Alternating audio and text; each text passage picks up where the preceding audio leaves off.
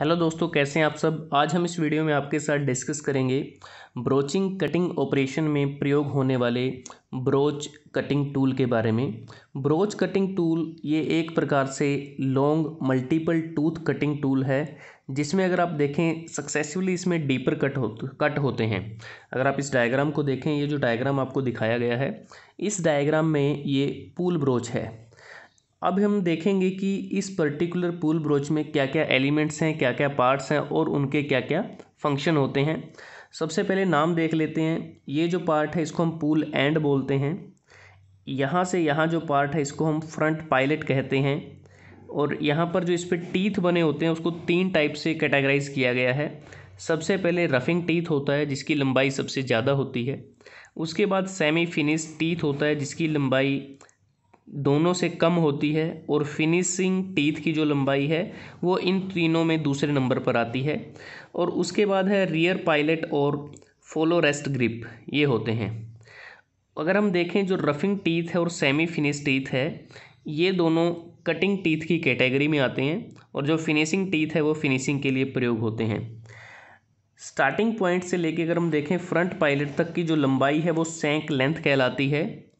और उसके बाद ओवरऑल लेंथ हमारी स्टार्टिंग एंड से जो फाइनल एंड है, वहाँ तक की जो लंबाई है वो ओवरऑल लेंथ कहलाती है। अब अगर हम बात करें सबसे पहले पूल एंड की बात करते हैं। पूल एंड ये पूल ब्रोच पर बना होता है, जिस पे अगर हम बात करें, एक प्रकार से सैंक बना होता है। और ब्रोचिंग मशीन का जो पूलर हेड होता है, उसमें इस पार्ट को हेल्ड करते हैं। ताकि हम प्रॉपरली उसकी क्या है रिजिडिटी आ जाए टूल के अंदर, उसको हेल्ड करके ये वो पार्ट है। इसके बाद आता है फ्रंट पायलट फ्रंट पायलट का काम होता है कि जो ब्रोच हम यूज़ करते हैं, उसकी प्रॉपरली अलाइनमेंट की जाए करेक्ट एक्सियल अलाइनमेंट की जाए टूल की स्टार्टिंग होल के साथ में। और जो इंटरनल पूल ब्रोच अगर हम यूज़ करें, उसमें जो पूल एंड है और जो फ्रंट एंड होता है वो पास करते हैं एक स्टार्टिंग होल से। स्टार्टिंग में एक होल बनाया जाता है स्टार्टिंग होल वहाँ से वो पास करते हैं। और उसके बाद जो पूल एंड है, उसको लॉक कर दिया जाता है। जो पूल हेड होता है ब्रोचिंग मशीन का, उसके साथ। उसके बाद आता है रफिंग टीथ और हम बात करें सेमी फिनिशिंग टीथ इन दोनों टीथ का काम होता है वर्क पीस से मटेरियल को रिमूव करना।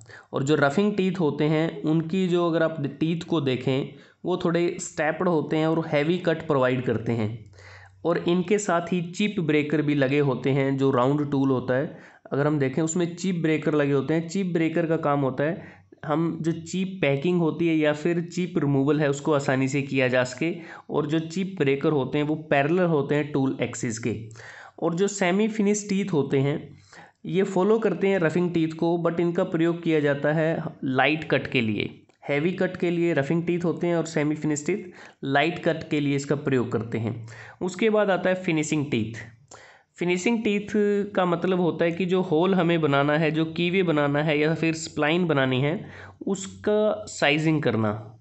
मतलब कि ये सेम साइज़ के होते हैं जो साइज़ हमें हमारे वर्क पीस पे चाहिए। तो सबसे पहले अगर हम बात करें कि जो फिनिशिंग टीथ हैं, ये first sizing tooth cut metal को टूथ कट करते हैं, ठीक है? और जो फिनिशिंग ऑपरेशन है, उसको भी ये करते हैं बिना किसी मेटल रिमूविंग के। तो फिनिशिंग के लिए इनका ज़्यादातर प्रयोग किया जाता है। उसके बाद आता है रियर पायलट और फॉलो रेस्ट ग्रिप इसका काम होता है कि टूल की अलाइनमेंट को मेंटेन करना। जब हमारा जो फिनिश टीथ है, वो वर्कपीस के होल से पास कर जाए, उस दौरान भी टूल अलाइनमेंट को मेंटेन करके रखना या कह सकते हैं कि ब्रोच को सपोर्ट करना। और ऑपरेशन के बाद क्या होता है कि जब ऑपरेशन हमारा कंप्लीट हो जाता है तो यही वो पार्ट होता है जिसको हम फिर से पुल बैक करते हैं ताकि हमारा जो ब्रोच है वो स्टार्टिंग पोजीशन में आ जाए। अगर हम राउंड टूल की बात करते हैं तो राउंड टूल के केस में क्या होता है कि जो रियर पायलट का जो डायामीटर होता है, वो फिनिशिंग टीथ के डायामीटर से कम रहता है। अब मैं बात करता हूँ कि जो किस किस टाइप के ब्रोच होते हैं कौन कौन से टाइप के ब्रोचेज होते हैं, उसको अलग अलग तरह से कैटेगराइज किया जाता है कि आप किस टाइप का ऑपरेशन कर रहे हैं तो उसके आधार पे इंटरनल ब्रोच होगा एक्सटर्नल ब्रोच होगा।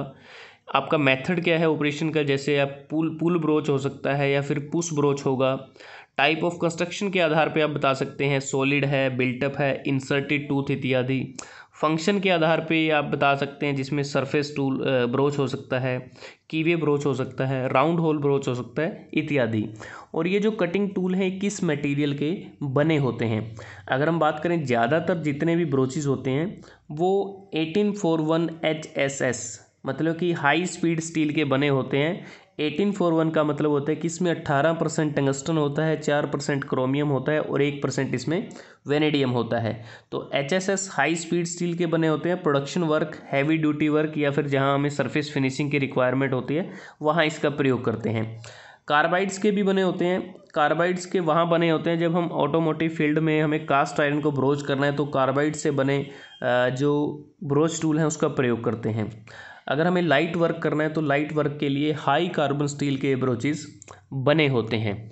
तो हम दोस्तों, आपके साथ डिस्कस किया कि जो ब्रोचिंग कटिंग ऑपरेशन होता है, उसमें जो हम ब्रोच कटिंग टूल का यूज़ करते हैं, उसके क्या क्या एलिमेंट्स हैं क्या क्या पार्ट्स हैं, उनका क्या काम है, वो किस मटेरियल के बने होते हैं, और कैसे आप उसको कैटेगराइज कर सकते हैं। तो अगर आपको वीडियो अच्छा लगा, आप इसको लाइक कर सकते हैं शेयर कर सकते हैं अपने दोस्तों के साथ स्टूडेंट्स के साथ, और चैनल्स को सब्सक्राइब करना ना भूलें। जल्दी हाजिर होते हैं एक नए वीडियो के साथ। तब तक के लिए धन्यवाद। आपका दिन शुभ रहे।